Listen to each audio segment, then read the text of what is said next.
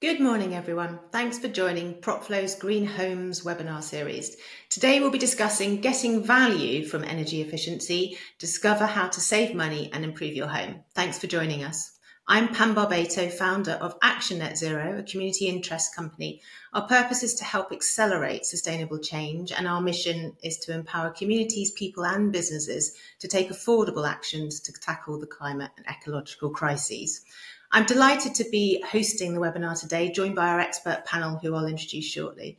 Um, in terms of what we're going to cover today, we're going to be looking at the benefits of energy efficiency, um, looking at how it affects health and well-being, and where do homeowners start if it, when it comes to making their homes more energy efficient. We're going to look at heat pumps and dispel some of the myths that we know exist, and look at how does energy efficiency affect the value of your property, and how can mortgage providers help and support you. So now moving on to some general points about the process itself. Um, you can hear us, but we can't hear you, which is perfectly normal. The webinar will last an hour um, and you can ask questions at any time using the webinar functionality. So if you've joined through the Riverside app, you'll see a little speech mark which you can click to enter the chat. If you've joined through LinkedIn, then you can post questions in the comments. We have a dedicated Q&A in about 20 minutes um, after we've heard from our panelists. We're also recording the webinar and we'll circulate it to you afterwards so you can watch it back um, at any time. So, on to the programme today. It's a pleasure to now invite our expert panelists um, to introduce themselves. We have Luke Loveridge, founder and CEO of Propflo. Mark Boehm, Heating and Energy Consultant, Director of CLPM. Mark Golan, Estate Agent at Yopa. And Richard Fernandez, Mortgage Advice Manager at Habito. So it'd be great if each of you can now tell us a little bit more about yourselves and your roles, please. So, Luke, firstly, over to you. Yes, thank, thank you, Pam. Hi, everyone. I'm Luke. I'm the founder and CEO of Propflo. We provide energy efficiency tools to help you understand the benefits of retrofitting your property and then connect you with uh, improvement suppliers to get direct quotes and then uh, help you then manage those improvements and the impact of those afterwards as well. Um, we were the first one stop shop, energy efficiency one stop shop to launch in a mortgage lender, mortgage broker, and an estate agent and we are engaging over 1.4 million uh, homeowners. Thanks, Pam. Brilliant. Thanks, Luke. Rob. Uh, good morning. Thank you, Pam. Um, yeah, so my name is Rob Boehm and I work for CLPM Limited. Uh, we are a construction consultancy business assisting clients with their building projects. Uh, we have a quantity surveying and project management team, and I head up the heating and energy department. Um, just a bit of a bit of a numbers here. Uh, around 30 percent of the total energy used in this country is used by our homes, and around 60% of our household energy is consumed by heating. and we are committed to reduce this impact. We are fully independent consultants who have our clients' best interests at heart. We cut through the internet misconceptions and clear, give clear and concise advice. My principal pursuit is working with clients and their architects to ensure that their properties are as efficient as practically possible and that they're all aware of the various heating options and their consequences. I check that their clients' heating and water supply needs are covered in the design specifications. This I carry out for extensions and renovation projects as well as new builds, as is equally important for all. I also assist people wishing to improve the energy efficiency of the existing homes and would like an impartial review. This service is frequently taken up by clients who have recently moved house. We had a nice quote from a client recently, said that were, looking to save the planet one house at a time. It'd be nice if we could speed up that process a little bit, but time takes time. Thank you. Brilliant. Thanks, Rob. And Mark, over to you. Uh, thanks, Pam, and thanks for inviting me on. I'm Mark Golan. I run an estate agency in the north of Scotland. Um, I'm a great advocate of um, green energy. Um, however, um, uh, I think the, the perceived green energy is not, uh, from a buyer or seller point of view, high on their priorities. I built my own property a few years ago, made it as eco as I possibly could, heat, uh, heat exchanger, air source, um, however, where I built it, the planning department allowed me to have PV cells, for example, on the roof. So we're, we're a bit of a, a cross between um, what maybe the green energy people like us would like and the actuality are perhaps not connected quite yet. Brilliant. Thanks, Mark. And last but not least, over to you, Richard. Thanks, Pam. Hi, everyone. My name is Richard Fernandez, and I'm the Mortgage Advice Manager for Habito Mortgages. I've been in the mortgage industry just over a decade now. Not like uh, not that I'd like to admit it. And in the last five years, I've been working with Habito Mortgages. Um, so at Habito, our approach revolves around using cutting edge technology to streamline and modernise the mortgage process. So through the utilisation of digital tools and data driven solutions, we're committed in our mission to make mortgages, the home buying process, and more recently retrofitting easier for all. Brilliant. Thanks, Richard. As I'm sure you'll all agree, listening, a brilliant panel of experts for our discussion today. So we're now going to ask each of our panelists to go through a short presentation before we start taking your questions um, within our live Q&A. So Luke, if you'd like to go first. Hello, I'm Luke, the founder and CEO of Propflo. In this presentation, I will go over some of the key benefits of making your home more energy efficient but also covering uh, sometimes an overlooked benefit around the impact on your health and well-being. Firstly, at a national and global scale, climate change is having an impact. By the end of the century, climate change will be costing the UK economy uh, more than the government spends on defence, policing, transport, and overseas aid combined. We're importing nearly 50 billion pounds a year in terms of energy, uh, and in 2022, that rose to 117 billion. So we have got a huge dependency on foreign countries for our energy supply. But the most obvious individual benefit is direct energy savings. A small solar system and battery can create savings of around £16,000 at a cost of around 8000 So it's a decent investment. We've also estimated that more energy efficient properties could benefit by nearly £3,000 from mortgage lender incentives. But there are also mortgage lenders that are looking at other ways to encourage energy efficiency, and that could include increased affordability. So, how much more can you borrow on your property, and also more flexible lending criteria as well. According to RICS, the Royal Institution of Chartered Surveyors, it could also increase your property value by up to 15%. This is termed the green premium. And in future, as green becomes the standard, a discount could be applied to more inefficient properties. As an example, here are two real identical properties that were on sale last year. One had solar, one didn't. You can see that the market is pricing in improvements, but ultimately, local markets and circumstances of the seller will also uh, create some nuances. So, depending on how much more you can get for the, for the property. It's also important to note that landlords can benefit from uh, some limited tax relief and also maintaining compliance with minimum energy efficiency standards, which could potentially tighten in future. But one of the m- thing that many people really don't consider is the impact on their health and well-being. Energy efficiency impacts the thermal comfort of your property, the indoor air quality, and also how exposed you are to changing energy prices. Heat waves and cold snaps are increasing, Cold homes alone cost the NHS £1.3 billion per year. Poor indoor air quality caused by things like mold and dust mites contributes to respiratory diseases, heart disease, cognitive def- deficits, and cancer. Smart home technology is now widely used pre and post retrofit to monitor that a property is suitably ventilated. And recent events uh, from the Ukraine war to attacks in the Red Sea have shown just how volatile energy markets can be. By investing in things like solar panels and batteries, you have a longer term price stability uh, on your property. So, what support is available? We've developed a tool called GreenVal, where you can get a report on your property that looks at these overall benefits, including health and well-being and with only one that includes a health and well-being uh, in the resilience uh, rating for a property. And it also helps you compare improvements see the financial return and get quotes from tr- our trusted suppliers. This is only available through our, uh, our partners including action net zero yopa habito molo and hodge. And finally we are currently involved in a project which gives discounts on improvements such as £700 off solar £700 off a heat pump up to £1,000 of free smart home technology and a free EPC. If you are interested, please reach out on the email below or get a quote from one of our uh, partners. Thank you for listening, and I hope you found this presentation useful. Brilliant. Thanks, Luke. Um, and in terms of that health and well-being piece, as we heard, there's some great stats that you surfaced there and uh, aligning to the benefits, which is really good to hear. We're now going to move over to Rob, who's going to do his presentation. So, Rob, over to you. Thank you, Pam.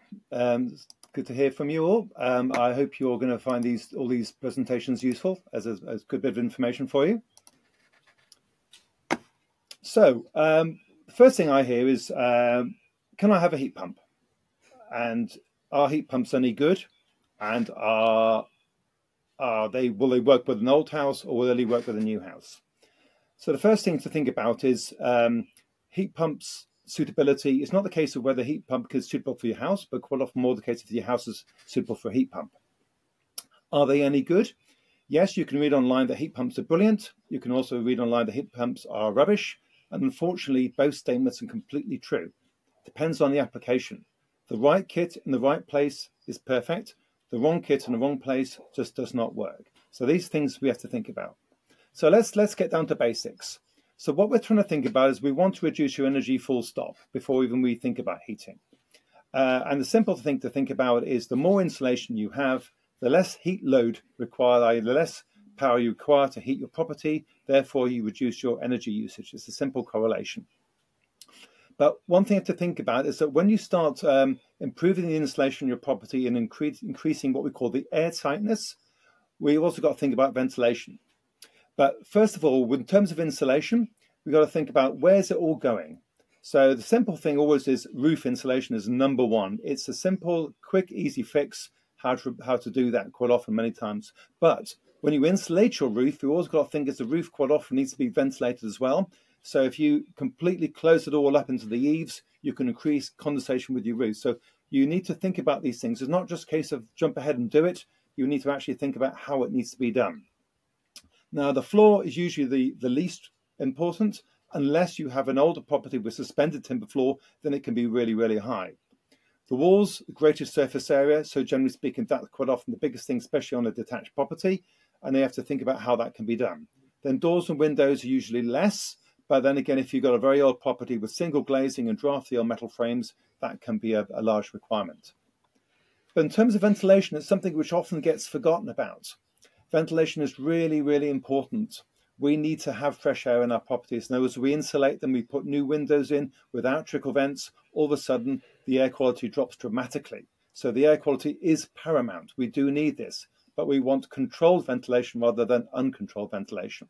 So you have trickle vents, please use them, allow air to come through. Obviously, the pièce de resistance is to have a full mechanical ventilation system which can filter the air. It can actually preheat the air coming in, which is super, super efficient because sometimes up to 30 to 40% of your heat loss is actually through ventilation. So coming up with a good ventilation strategy for your property is really, really important. So let's let's think about what are the options do we have. So natural gas, majority of towns and cities and even out in the country have, have natural gas. We all know what it is. It's nice and easy. It's it's very cost effective. It's still the cheapest form of heating per kilowatt hour by a stretch of imagination. It's if you look at it, it's roughly three times cheaper than electricity per kilowatt hour. So that's quite significant. Um, LPG um, comes in, but it's normally pretty expensive. Oil is a, is a, is a usual um, methodology for out in the country. Again, relatively cheap to fit and run, high carbon. But one thing you are open to market forces. And when we have conflict in areas of the world where oil is produced, you find the price goes up quite um, quite dramatically.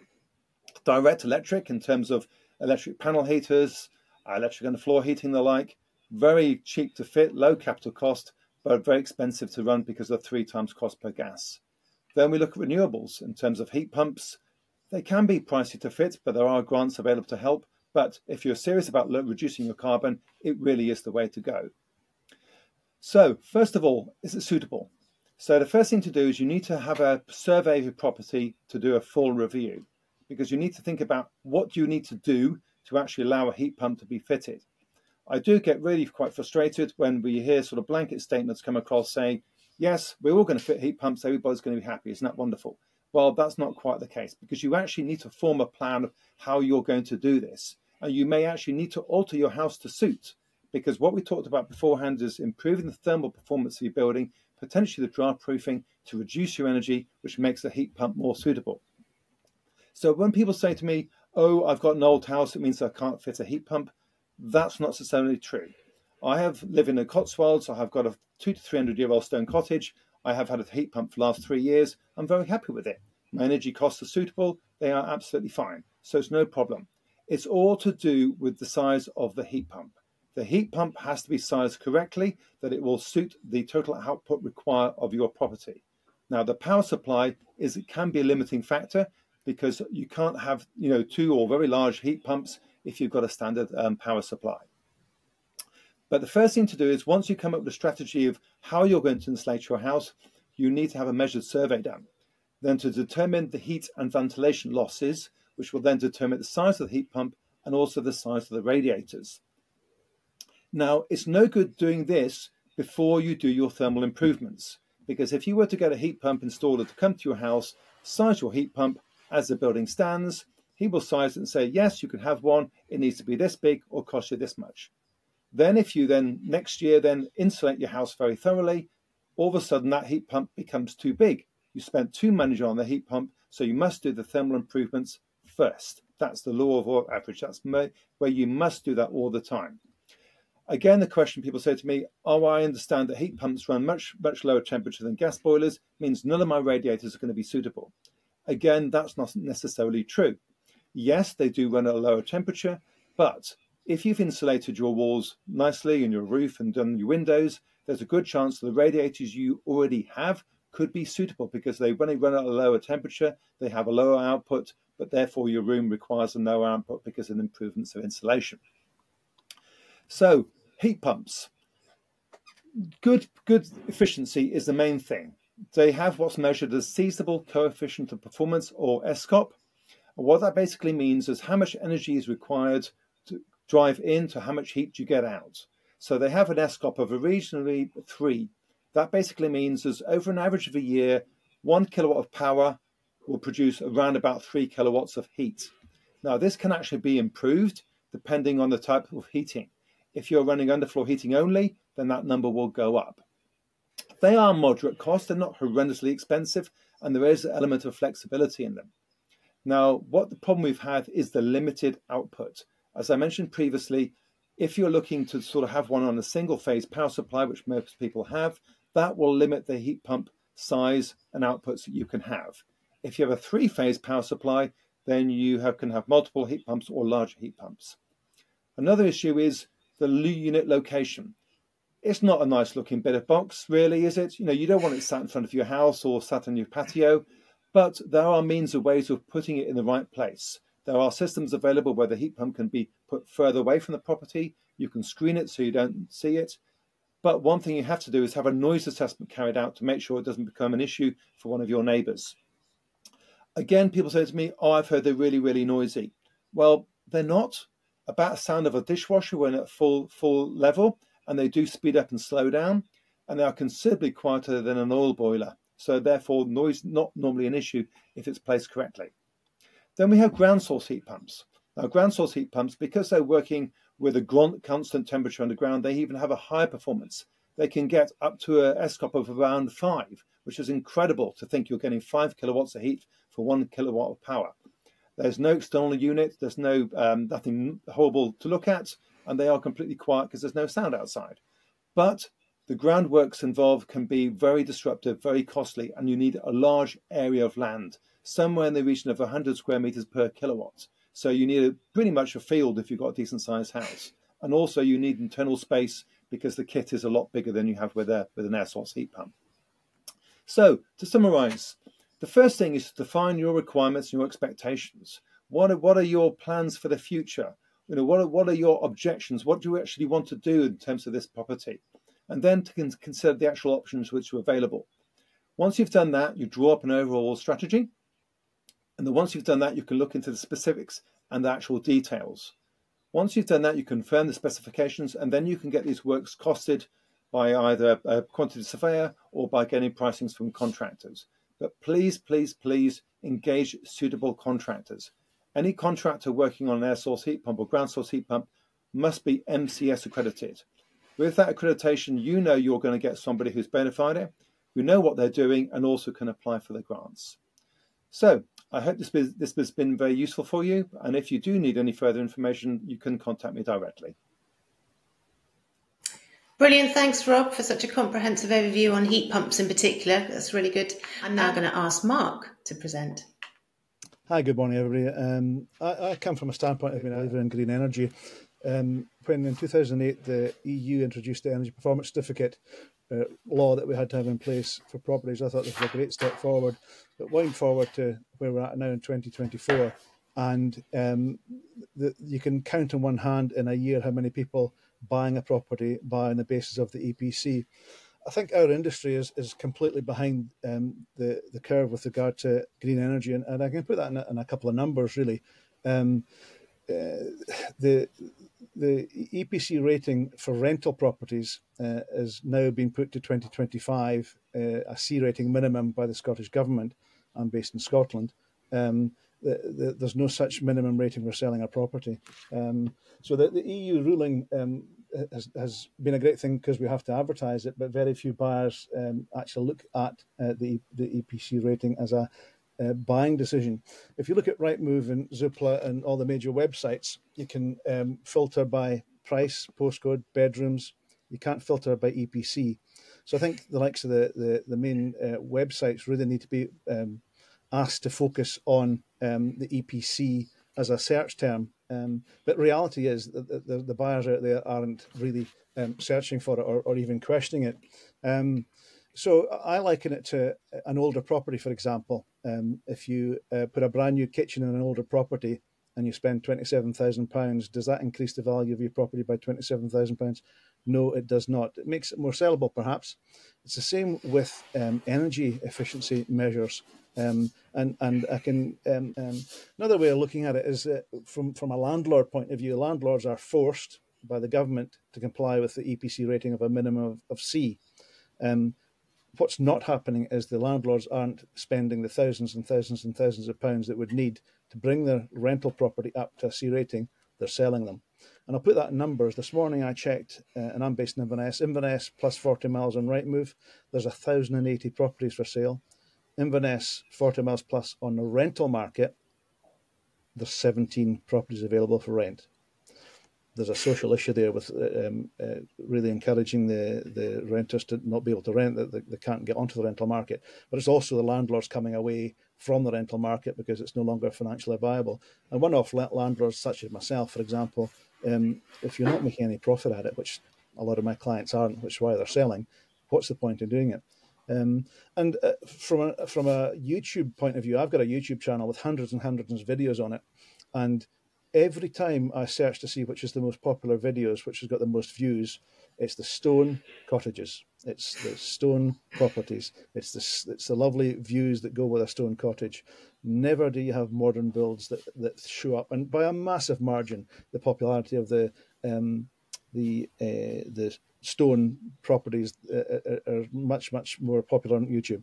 Um, so so there's an issue with regard to what the green energy wants us to happen, and I'm a I'm a great supporter. As I said earlier, I, I built a property. I don't live in it, but I built it with a, as much green eco as I could put in it, and was thwarted by the local planning because I w- wasn't allowed to put photovoltaic cells on the roof of a south south facing roof of the property, um, and, and that's annoying because I could have free energy there more or less all year round. So that's annoying, and I hear that quite often with clients. I'm not allowed to. Um, the the part that was mentioned there by Rob about the um, the the ground source. Ground source is really popular, but as he said, you need to have a big chunk of land to make it happen. Air source, you don't. The, the little cottage I built, is a 50 square meter footprint on a very tight site and it just works a treat. Um, so um, you know that, that's kind of my look at the, the, the Ecos thing on, on new and used properties. Brilliant. Thanks, Mark. Really good to hear um, how things are um, obviously in Scotland and we'll touch in our Q&A in particular, I'm sure, about the differences across the different regions. Uh, but now over to Richard. Thank you very much. Um, so how can your mortgage lender help make your home more energy efficient? So this is an ever evolving and changing piece in the industry as it is relatively new. So there are a number of ways in which mortgage lenders are offering help and rewards when it comes to making your home more energy efficient. So with purchases and remortgages, some lenders are offering enhanced cashback by moving your property into the next EPC banding or increasing the rating by a certain number of standard assessment procedure points within a certain time frame after your mortgage completes. So you would just evidence this by requesting an updated EPC or even having the work done by certain trusted companies by the lenders. Some lenders are also open now to using tools such as Propflo's very own Green Val platform, which shows ways to make your property more energy efficient. And other lenders are offering potential discounts on energy related products. For example, Barclays have been offering discounts on Hive thermostats. For properties that customers already own, some lenders are also offering what they might typically call typically call green additional borrowing or green home improvement mortgage products for their existing mortgage customers.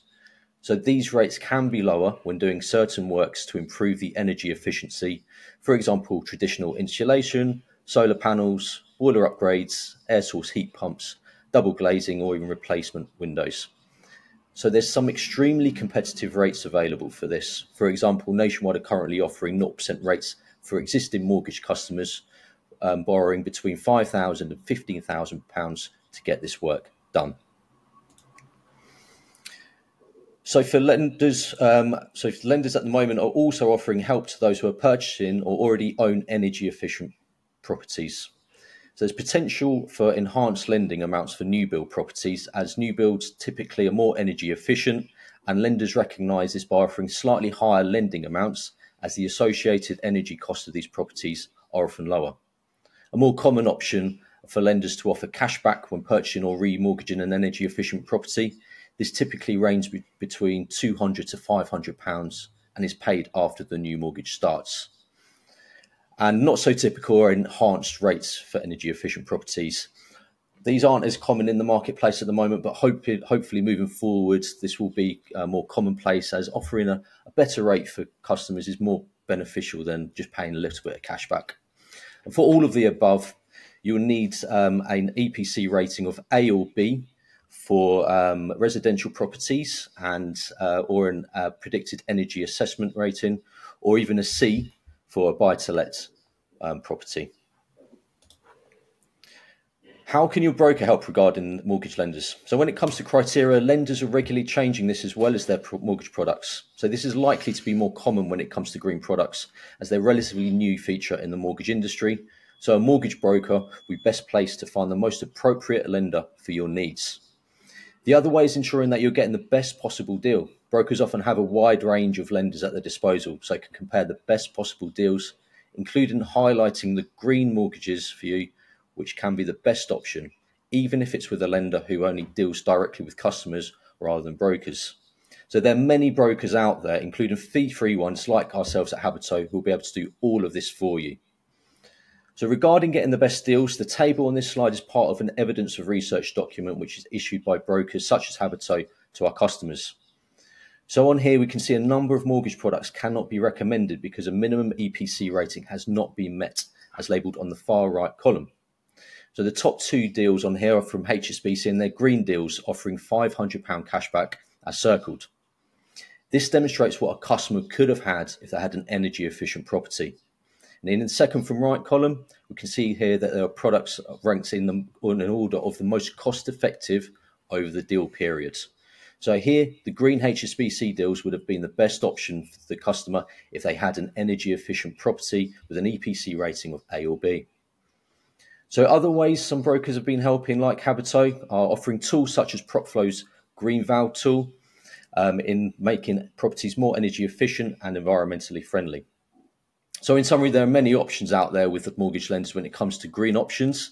And mortgage brokers like ourselves at Habito are best placed there to help you out when it comes to getting you the best possible option. Brilliant. Thanks, Richard. Really good overview to see, uh, obviously, how brokers and are supporting um, the transition. So we're now actually going to move on to our live Q&A and uh, take some of our listeners' questions. So um, in terms of the first question, we're going to be focusing actually on how does energy efficiency affect air quality? So back to your original conversation, Luke, you know, you talked about obviously that some of those key um, components of air quality. Would you like to just uh, give us a bit more detail in terms of that question? Yeah, yeah, and I think Rob touched on on this really well uh, as well. So obviously. Uh, you know, if you're getting solar panels or uh, a heat pump, that might not necessarily affect air quality. So it, it, does depend on what improvements you're making. So it's mainly associated with um, insulation. Um, and as Rob said, it's really crucial that you uh, ventilate the property and make but make sure that it's within your control. A lot of people say, "Oh well, you know, my home's nice and uh, airy," but it might be that there's a draft in the door or the windows are not adjusted right, which is not what you want. Um, I, I know, for example, on the on the continent, they open windows at night to let the fresh air in, like all of the windows. And even in winter, if you do that for 15 minutes, it doesn't really affect the thermal um, capacity uh, of, of, your of your home. So a part of it is also behaviour, and this is where you know having the right um, uh, you know uh, uh, products in place, so like extractor fans in bathrooms with no windows, mechanical ventilation, etc., where that's needed, is really useful. But what we're seeing is much more use of smart home technology. So my previous business, which does uh, heat loss, draft risk, um, mold detection, indoor air quality, um, is deployed in like you know, 300,000 uh, devices um, so far. So that we're really seeing that pre and post retrofit work so that you can A, target what works you need in the first place, and then B, to understand what that impact has had, not just on the thermal efficiency of the property, but also the indoor air quality of the property as well. Brilliant, thanks. And actually, thinking, Mark, from your perspective, are buyers really aware of the effect on air quality when they're thinking about a kind of energy efficiency or, or purchasing? I, I think in the 4,000 odd properties I've sold, I don't think I've ever been asked that question, to be honest with you. No. Okay, it's really interesting. And Rob, from your perspective, how aware are people of, of the correlation? I, I think they're not, and that's, and that's one of the, one of the problems is that um, you know I've been done service on so many properties where windows were changed like in the 1980s. Uh, they've got no trickle vents um, and they're ringing with condensation. Uh, what people don't actually realise that when you pull your extractor fan on to take the you know the steam out of your bathroom or in your kitchen, you can't draw out a plastic bag. You know, if if the room is pretty much airtight, you're not going to draw anything out. It's as simple as that. So you know, so if you have trickle vents, when you're going to have a you know shower, open your trickle vent before you have a shower and then shortly afterwards, then you close it again. Likewise, and when, when like um, one thing we've come across, what we call sick building syndrome. And what people don't realize is that if you've got a sort of, especially on a smaller property, it's actually worse than a larger property because it's due, due to the volume of air. But um, you know, people say, "Oh, you know, I wake up in the morning and I've got a thick head." And I, why is that? Well, because you know you've got a small room, your bedroom door shut, you've got no air coming in, and you're breathing in carbon dioxide. It's as simple as that. But also, every new thing you bring into your house off gases. You know, it's you know the chemicals off it basically, or that what would like almost like the new car smell. It, it's not a nice thing. It, it's a bad thing, and and we get a like a especially in the winter we get this real fog in our houses which we unfortunately can't see, but we're breathing it in. So higher levels of carbon dioxide, lower levels of oxygen, higher levels of moisture, which then condensate on your glass and on the walls and so on and so forth, and then any other chemicals and things we bring in. So by ventilating the house, it's really important to try and clear this out to give ourselves a good fresh environment. So yeah, ventilation is important, but um, as we said before, it wants to be controlled rather than uncontrolled. So therefore, you can ventilate when you want to. Um, Uh, so you also find some double glazing have what we call night vent, where you can open the windows just a slight amount and then close it again. It just gives it just open a very, very fractional amount. That's especially good in the summer to just keep ventilation going through the house at, at, at all times. But if you are do, doing a deep renovation of your property, like you know we're going back down to the bare bare bones of the property, then a full mechanical ventilation system could be fitted, and that's something you may be worth considering. But please, please, please do get, get advice and look at the consequences of doing that.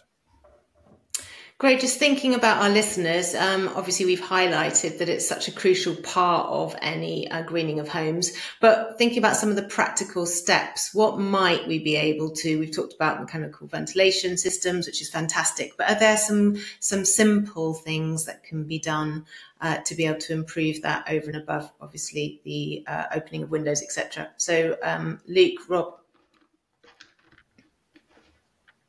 I, I, I would you like to on that? I mean, the, yeah. I, I, I, am really surprised sometimes. I walk around people's houses and they quite often don't see the, see the obvious. Um, I went to a house a little while ago and um, they had a broken cat flap um, on the back door. Um, it was a sort of a, a, through flow from the from the kitchen from the back door through to the front door, where they had a, a loose uh, letterbox. Um, in the living room, they had a really big open fireplace, um, and they had what we call suspended timber floor, and they'd taken up the carpets, and they were, and they were wondering why they were always cold, um, and when the heating bills were really really high, because effectively there there was just this constant through flow of air.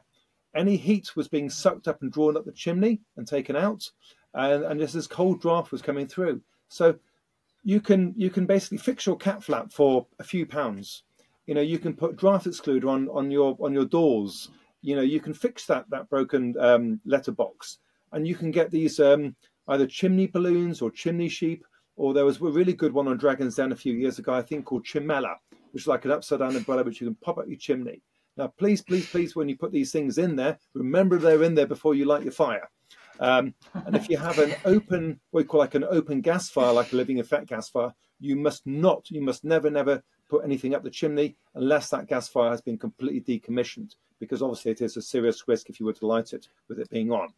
But these are simple measures which do not break the bank. They're really quite cost effective and they can make a colossal difference to, to your home. Brilliant. And Luke, I was just thinking about smart tech. Do you want to come in on some of those great opportunities? Yeah, I, a good example is, you know, I put some smart um, uh, tech into my property, uh, quite cost effective, and you know ended up I've got a new build, and so it should be fairly you know energy efficient, um, and ended up having some sort of amber warnings of heat loss in sort of like my downstairs bathroom. I thought, well, that's that's interesting. What why is that? Um, turns out that the the pipework was just open to the air basically, and again, just as Rob was saying, spent you know a few quid on some um, spray foam to just to seal up that that um, that pipe, and you know it, it, I, I, then saw in real time that the draft risk and the, the heat loss risk had gone down and was actually back to sort of normal levels. So there are sort of uh, yeah, just as Rob, Rob uh, was saying, there's some cost-effective insulation bits you can do prior, uh, I think, to sort of thinking about sort of the external, internal wall insulation, all of that sort of stuff. There, I think there's some sort of basic stuff you can do first, um, sort of assisted by smart tech, but also um, you know you can get thermal surveys for a few hundred pounds, which can detect a lot of these issues as well. Um, yeah, Brilliant, great. I think we've covered a great uh, range of opportunities there. Um, actually, we've got a question that's come in as well. Uh, this one specifically about organisations. It says, How do organisations measure the amount of energy used or saved when distributing energy saving measures like window insulation kits or draft excluders? Who'd like to take that one? Luke? So is that in terms organisations in terms of like uh, lenders or retrofit companies? Um, I suppose what I could um, sort of touch upon here is that as part of the tools that we supply to lenders and brokers, obviously the green vow tool is one aspect, and that's what the consumer sees, and they see the report on their property, connect with suppliers, etc. But we also have essentially an analysis tool for the lender to understand what the performance across their portfolio is. Uh, and then that helps to sort of um, you know, uh, channel uh, support to those customers, but also measure the impact. And that's quite crucial because, particularly for mortgage lenders, um, currently they've got mandatory um, you know, reporting on the uh, EPCs and the finance emissions of their back book, so who they've, who they've lent to. Um, and although currently not um, uh, mandatory, and a lot of them have self targets uh, of sort of net zero by certain dates, by 2035, 2040, 50, etc. Um, and the FCA, the Financial Conduct Authority, is monitoring the delivery of those um, uh, of those carbon reduction plans. So you, you, know there is pressure, and there's a reason why lenders want more energy efficient properties because they do consider consider it a risk on their their portfolio, whether it's around affordability, can people afford to pay uh, pay their mortgages, um, or is it around for example, regulation risk. So, um, you know, there's already regulations around uh, landlords can't rent out below an E. Uh, in Scotland, that's gone up to a C. Um, in the UK, that will probably something in that form will be brought back at some point. Um, the government has a target to be for all properties to be EPC C by 2035, I believe. So there's a huge sort of risk on horizon around regular, regulatory change, so which lenders want to mitigate. So they need to measure and understand what that risk is. Yeah, absolutely. Goodness. Hopefully that answers the question. No, we've we've had a thank you, so I think that does. But please, again, if there's any, any other parts of that question that want to be unpicked, let us know. Um, so on to another question. I think this is what we'd really like to understand is you know what improvements generate the most value to a property. So um, again, obviously across the panel, I'm sure lots of you have got to contribute. But Mark, I appreciate you're in Scotland, and I know Luke and the rest of the panel. We know that there are regional variations, but yeah, let's have a little discussion around this point. Yeah, the the the, the typical uh, enhancement would be uh, PV cells um, or even the older solar uh, panels, um, fairly easy to fit um, and very effective. Uh, I'm I'm starting to see a bit more PV cells on larger properties linked to a Tesla power bank that's now powering their electric cars, which I think is just blows my mind. It's an amazing thing to do. Um, doesn't add value as such, add saleability, uh, that's for sure. Um, and there are more and more people looking at um, ways to live that don't include burning fossil fuels. So, uh, back to what I said earlier, I would like to think at some point value would be attached to that. Certainly, saleability, and I suppose saleability would increase demand, demand would in- increase price of, of, the property. So, the market will dictate at the end of the day. But uh, uh, to answer the question, uh, PV cells, uh, PV solar panels are, are probably the, the quickest and best way to add perceived value on the property than saleability. Yeah, yeah I, I, would agree, but um, I think what I would say, I've always used the sort of yeah kitchen um, example is like you know, but more around the purchasing of that kitchen. It's like you wouldn't necessarily purchase a new kitchen or a new bathroom because uh, it has a, a, large ROI or like every year it will generate X number of savings. You get it because the enjoyment of it.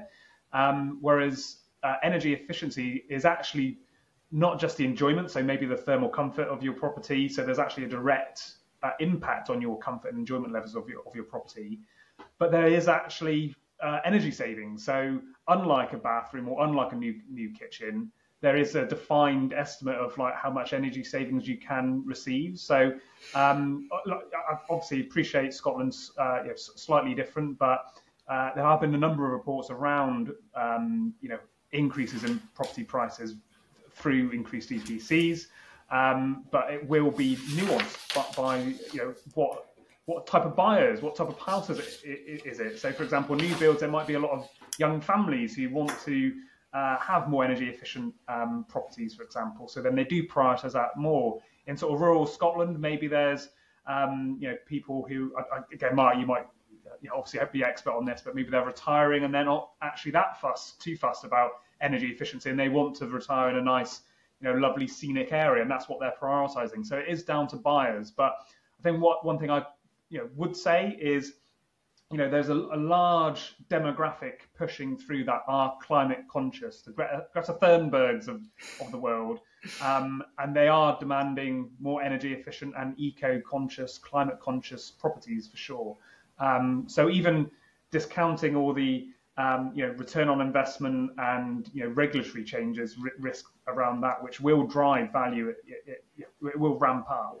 Um, there are, is that big demographic of customer demand coming through um, at some point. yeah.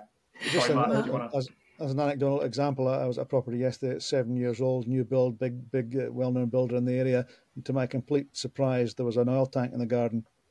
That's a seven-year-old new build property. So yeah why are the builders getting away with that? Um, why would the owner want that as a choice? I don't think they did want it as a choice. There's no natural gas in the area, so it was, uh, you know, for a new build property as I had built, the insulation levels are so high. In my head, it's daft not to have some sort of heat exchanger system to heat it. So that was a seven-year-old property with an oil tank and an oil boiler. I just I shook my head. I think it goes back to the policy, doesn't it? Until government actually accelerates the changes that are required from a build perspective, unfortunately, there's always a catch up, isn't it? If we think about the, the amount of time it takes to plan for these developments. Um, have an interesting question that's come in uh, as well, which is what are some innovative trends, please, or technologies emerging in the field of energy efficiency um, that homeowners should be aware of? So, are there any particularly exciting? Okay, Mark, thank you. Well, I've, I've I think Luke mentioned it, the Hive system. I mean, I just think it's a fantastic system. You can be in your oil rig somewhere working and, and put your heating on for your wife coming home from, from work, that type of thing. It's uh, I think that's um, the way that I see a lot more of that happening. A bit like Tesla cars, you can set it to be warm before you go to work type thing. So um, that's what I've seen, uh, and I quite like seeing it. It seems quite simple to work and very effective. And the feedback I've had, it's, it's a really positive thing. Yeah, I, I agree. We use um, through our system Wiser, which is by Schneider Electric, one of by and Controls, which is one of the sort of leaders in, in this this field. And I've got it in my home, and you know every room I can set to different temperatures and different routines, which saves me a lot of money um, for sure. So that's a very simple thing. One thing I would mention, which I want to really explore a bit more, is around heat batteries. So um, for me, I can't get a heat pump at the moment because I want to do something to my patio, so there's nowhere to put the heat pump. Um, but I was looking at heat batteries, which could go in, in my cupboard upstairs. Mainly at the moment, that's really um, around the direct, the hot water, um, but it just means I can charge at lower tariff rates, and um, yeah, my solar can just get dumped into that heat, heat, heat battery and discharge at the right time. Um, but like I said, at the moment, it doesn't do the heating side of things. So um, yeah, I do see, see there's a lot of potential in sort of storage solutions in terms of heat storage solutions which could potentially complement or be an interim um, if your property's not quite suitable at the moment for, for heat pumps. But um, Rob, I don't know if you've got any yeah. other sort of trends or. Um... Yeah, well, there's one thing which is which is changing, and slightly is, is the you know we're talking about you know your uh, multi-zone control systems, which work really really well. By the way, um, I have one similar, and I you know I have every room set up at a different time and every temperature, so effectively the house is heated as we use it rather than heating as a whole and by doing that, you know, you can reduce your energy costs quite significantly.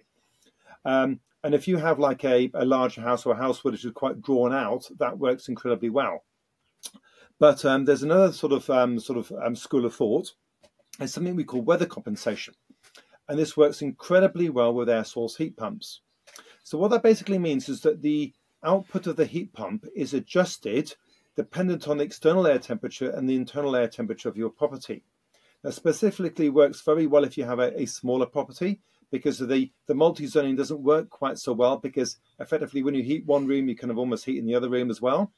So what this effectively does, it creates a very comfortable environment. Now, the thing is about heat pumps is that the lower the temperature they, they run at, the more efficient they will be. So um, people say to me, oh, do they work in cold temperatures? Yes, they do. Um, but uh, due to global warming, our sort of average daytime winter temperature is about seven degrees centigrade, uh, which is quite quite shocking, really. Obviously, north of the border, it's going to be a little lower than that, but um, generally for the rest of the country, it's around about that. So, what these heat pumps can effectively do is that when it's a, for example, you know, 10 degrees plus, where you still want a little bit of heating, the actual water flowing around your system is is considerably lower than it would be if it's really really cold. So therefore, the heat pump is working at its maximum efficiency that it can do all the time. Now, you don't have to touch it. All this software is actually programmed into the majority of air source heat pumps which are on the market today, and it just needs commissioning to work at the right direction. So, for example, the one I've got, I do actually have radiators in my house, so it actually does have to run at a, a higher temperature. But effectively, when it's 10 degrees centigrade, my heat pump's running at 40 degrees. Um, when it's at 9, it's dry, we're running at 41, and so on and so forth until it gets to zero when it's running its highest temperature. So we're trying to maximize the performance of it. So this is technology which is not emerging, it's actually on the market and available today, but quite often not used. So some of it is actually finding out how how to best to use what you've actually got or what you're planning to use. And there isn't a right answer and a wrong answer. It depends on you, how you're going to use the house and how you're going to live in it and what your priorities are. So that's why I think it's um, being sort of really thinking about it on, gran- on a granular level is really, really important to make sure whatever system you put in suits your requirements as well as the house. Brilliant, thanks, Rob. As you've got uh, going over to Richard, actually, we've got one around um, lenders. So, thinking about actually what's the motivations? Why are lenders incentivizing energy efficiency? Um, Richard, yeah, if you could share your thoughts. Sure thing. So uh, Luke touched on it uh, briefly earlier. Part of the reason is uh, via, through the FCA. So the government actually contacted the F- FCA to actually consider the net zero uh, agenda and their, their goals, the government's goals for this, and to actually put it in any legislation that they put towards the lenders. So like Luke said, lenders have to report back to the FCA about what properties they're lending on, the energy efficiency of that. So that's part of the reason. And the other reason for them is saleability as well. So naturally, lenders have got some in, a lot of interest in the properties they're actually lending on. So they want to make sure they're um, saleable moving forward, and an energy efficient property moving forward will be more likely to be uh, saleable. And the other reason as well, so like we've touched on, energy cost as well. Uh, they're lower, and as we've seen in this country in uh, the last 18 months or so, energy bills are a lot higher. So um, that can put strain on individuals in terms of their monthly outgoings and can have a knock on effect to mortgage payments. So, naturally, if a property is more energy efficient, people are more likely to be able to actually afford their monthly electricity bills. So, it puts less strain on their customers. And the other thing as well is, uh, like we've touched on as well, is that the general population that become more uh, climate aware um, in this day and age. So um, if if one lender isn't doing any green um, uh, aren't offering any green products at all, and every other lender is, it's not going to really look uh, very good on them at all. Yeah, brilliant. Sorry, Just to sort of chip in there, I, I, there's also a number of like um, bank comparison sites in terms of like who's the greenest as well. Um, and I, I, just randomly went, went, on one, and just as I was about to leave, it said, "Oh, have you changed, you know, your banks because of, because of the uh, and you know the, the, the greenness of, of of the bank that you've just seen, um, which I thought was really useful. So there is a there's a number of organisations sort of trying to be you know, make lenders and banks more transparent um, and show it you know basically so they can't greenwash anymore, um, which is which is really interesting. So they're going to have to sort of sharpen up on that for sure. Definitely. Then um, we have another 10 minutes before the close of our webinar. So I'm going to be focusing on another key question here, which is why is energy price stability important? So, Luke, you obviously touched on this in your original presentation, but yeah, if we could talk, discuss it a little bit more. Yeah, I think it's it, firstly it does depend on uh, you know the type of person and your requirements. So let's say you're retiring and let, maybe you're you're downsizing um, and you've got a, a, set budget, you've got a, you know, a li- limited um, you know income, you know you want to make sure that those energy prices aren't going to go up significantly. So you know we all know what happened, you know February 2022, and like prices were doubling, and we really haven't seen that come back down, right?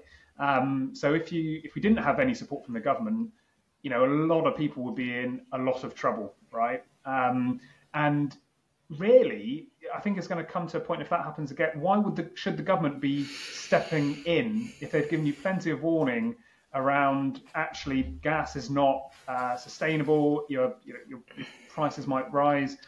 Why should everyone um, should, be, should be paying to subsidise people who have got um, oil or gas, right? So I think it, it, at some point um, that's not going to be acceptable anymore. So um, yeah, so, so just just to summarise, really, um, you know, it depends on who, you know who you are and what you you prioritise. Um, but as a you know, so if you get solar panels and a battery, for example, what you're essentially doing is pre-purchasing electricity for 25 years. So that just gives you really you know, stable bills. If you get a heat pump, you rely on more electricity, um, which again, if you if you combine that with solar panels, you're more self-sufficient. Uh, you're not necessarily going to be at, at the mercy of Russia and uh, the Houthis in Yemen um, that are sort of driving up oil oil prices, right? So um, yeah, so from a national perspective, energy security really important. But even just from a sort of a selfish individual person, it just insulates you and just reduces that risk in future, which you can really put a price on if you know if your, your energy pr- uh, price is going to double when you're exposed to that and then it means you fall behind and get into debt, get into arrears, um, you're taken to court. You know, that could have sort of life-changing effects. So um, I think we just need to be more self-conscious uh, of, as a country, our energy security, but also our energy security individually. Um, yeah. And on that point, can I just ask actually the panel, do we think that people are aware of that opportunity in terms of taking some control over their energy and the and the benefits from a from a stability pricing perspective? Mark, you must have lots of views on this. Yeah, uh, no, I don't think they do. Um, as an example, when when the, the energy spike was it last year, um, big stone houses you couldn't give away. Um, and, and the reason for that was the perceived uh, huge energy costs that the media have had us believe. And yes, they have increased. Um, my estate agency way around that was simply publishing the 12 months energy cost for a particular property, putting that online and sort of bursting the myth as to it's going to cost you £2,000 a month when it's actually £200 a month. Um, there's, there's a local chap uh, in one of our villages here who's got an energy store and he's an absolute expert on energy, a bit like Rob is. And I'm forever referring clients there to see what they can do to help you know reduce their energy costs. Something I want to get more involved in is after purchase, helping people reduce their energy costs. Uh, but no, I don't. I don't think there's that awareness there. I think we just we just um, you know, 95% of the population just uh, hear the news and watch Coronation Street as, as opposed to thinking about hear hearing the news, you know. Um, and that's why I support this type of thing. I think it's, it's, it's we're all going to be affected by that in the future. Uh, maybe not me, but my, my children and grandchildren. So I think it's so important that we are aware of it.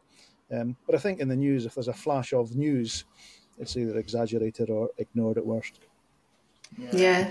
I do. I do think there's a um, just a general lack of awareness on the wider benefits of energy efficiency and the sort of softer benefits, which you can't necessarily put a, a pound sign on. You know, health and well-being, price stability, or thermal comfort. People mainly just think about is it saving me energy, um, which is important, but it's like it's literally just one pillar on on the whole uh, you know, number of benefits that there are around energy efficiency. On the mortgage side of things as well, it does uh, come into play, um, which a lot of people aren't aware of. So when you're actually doing a mortgage application, most lenders don't actually ask how much is your um, energy bill each month. They just use uh, Office National Statistics data. So in, if the nation's energy costs are a lot higher, um, in the background they're going to be factoring higher outgoings, which can affect uh, mortgage affordability as well. So that's going to come into play there. Yeah, really good point. I, I, spent 27 years driving back and forth to an office, and when I started working home five years ago, um, wasn't the saving of the fuel; it was the the fact that I wasn't pumping out fumes unnecessarily. Um, I now work from home, as so many of us do, um, so that you know I felt better, smug if you like, in the fact I was doing my little bit to stop fumes coming out of the, of the back of my car. So I only drive now to if and when I have to see a client. So there's, there's the kind of if you're into that way of thinking, your mindset is I'm doing some good somewhere, albeit small. Mm-hmm. Great. We've only got a couple of minutes left of the webinar. So I think what I'd like to ask is just if you've got a, any key messages, top line um, tips for our listeners in terms of why to start to investigate or continue their journey to green their homes and improve their energy efficiency. So going from the top, Luke, from you, these short, short, short sharp answers, please, given timings. yeah, I think it's just around awareness of the wider benefits. Um, as soon as people understand that, you know, uh, it affects the health and well-being of your property, and with more extreme weather coming as well, it's going to be more important. I think people just need to understand the, all of the benefits for doing retrofit, not just energy savings. Uh, Richard, over to you. Uh, we've spoke about a lot of great benefits and uh, features people can put into their homes today, and it's really important that you speak to uh, a mortgage broker who has access to all of these lenders, who can actually help you um, achieve these goals of actually making your home a lot more energy efficient. So I'd recommend to everyone, if you're looking to borrow some more money, speak to a good quality mortgage broker, ideally fee free like us at Habito, and we can like we're in a good position to actually help you out with that. Great, Rob, over to you. Uh, to me, it's planet. Um, just don't go jumping in with, with two front feet because we have to be careful. Is that if you, you know, I mean, the temptation when you buy a, a, nice house and you think, yes, first thing I want to do is put a new bathroom, a new kitchen in, and redecorate and put new carpets in it, and then think, oh, actually, should we spend the money on the installation first? So hmm. it's it's you know, again, I'm sorry, but you know, we all like shiny things, um, and we're all guilty of that. But spend the money wisely on on your building if you're doing a retrofit, and think about how you can make your building so much better. But please gain sensible advice from independent consultants if at all possible because obviously if you go to a, a supplier, obviously they're, they're looking to sell you a product uh, and plan and also get it costed so you know you can it's within your budget. But planning is the most important thing. Great. And finally, Mark. Yeah, the way I word it is that um, you know, especially for new buyers and new properties, they're going to be there a minimum of, of I don't know, seven, eight, nine years, whatever the average is. Um, make it future proof and save yourself some money because I would like to think within the seven, eight, nine, ten year period of people tend to stay in a property, I'll be able to say, and we're allowing some of the value in the property to the whole life running costs. Um, and uh, you know, it is nice putting the shiny objects in, um, but it's also nice. My, my, heating bills from a little two bed cottage I built was forty pounds a month. That's nice too. Yeah, that's a great, great motivator, isn't it? So that brings us to a close. Thank you all so much. Um, it's been really great to host today's webinar. And as a final to our listeners, to say, join us in person at our next event, which is actually going to be on the 17th and 18th um, of uh, May. Come and see us on the Friday, the 17th, at the Festival of Sustainable Homes at the National Centre for Self Build and Renovation in Swindon. We look forward to seeing you then. Thank you.